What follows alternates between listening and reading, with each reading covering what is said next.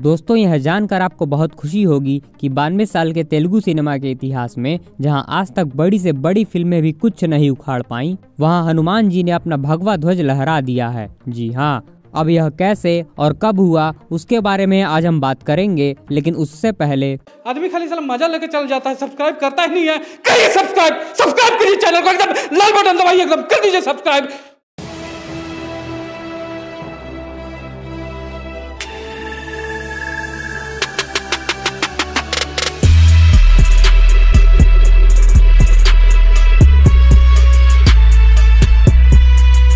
साल 2024 south Indian cinema के लिए धमाकेदार साबित हुआ है।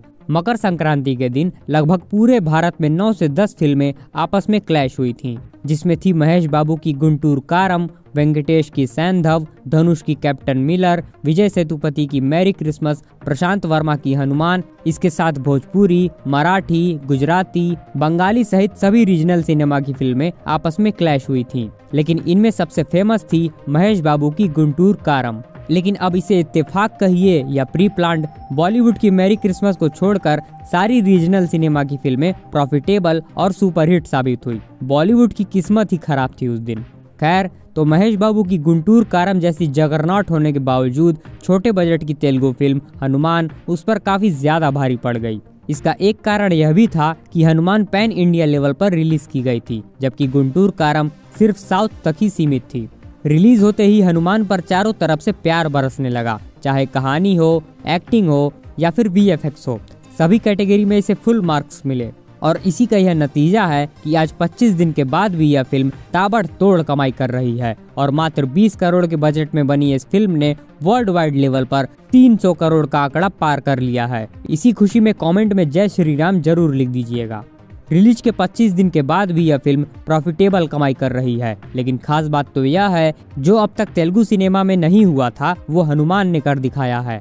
बॉक्स ऑफ़िस के एक रिपोर्ट्स के मुताबिक, बानवे सालों के तेलुगु सिनेमा के इतिहास में हनुमान पहली फ़िल्म है जो संक्रांति पर ज़बरदस्त क्लैश होने के बावजूद ब्लॉकबस्टर साबित हुई है। नहीं तो आमतौर पर यह देखने को मिलता है कि मकर संक्रांति के वक्त साउथ में जो भी फ़िल्में रिलीज़ होती हैं, वो आपस में क्लैश होने की वजह से बॉक्स ऑफ़िस पर अच्छा रिस्पॉन्स नहीं दे पाती हैं। लेकिन हनुमान ने इस मिथ को हमेशा हमेशा के लिए तोड़ दिया है। इस फ़िल्म को सिर्फ़ तेलुगु ही नहीं, बल्कि हिंदी बेल्ट में भी काफ़ी अच्छा रिस्पॉन्स मिला है। वो भी बिना किसी खास प्रमोशन के। जब ये ऋतिक रोशन की फाइटर के सामने टिक गई तो अब इसका कोई कुछ नहीं उखाड़ सकता। उम्मीद तो यह लगाई जा रही है कि यह फ़िल्म 500 करोड़ के माइलस्टोन को टच कर सकती है।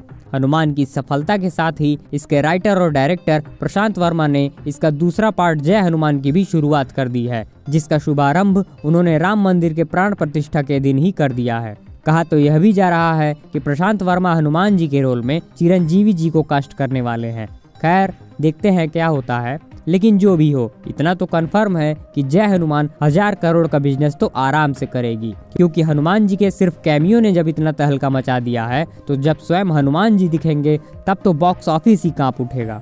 तो ओवरऑल अगर आपने हनुमान देख ली है तो उसका डिवाइन एक्सपीरियंस हमसे ज़रूर शेयर करिएगा। और जय हनुमान को लेकर आप कितने एक्साइटेड हैं, उसे भी हमसे ज़रूर बताइएगा। मिलते हैं अगले टॉपिक के साथ, तब तक के लिए सियावर रामचंद्र की जय।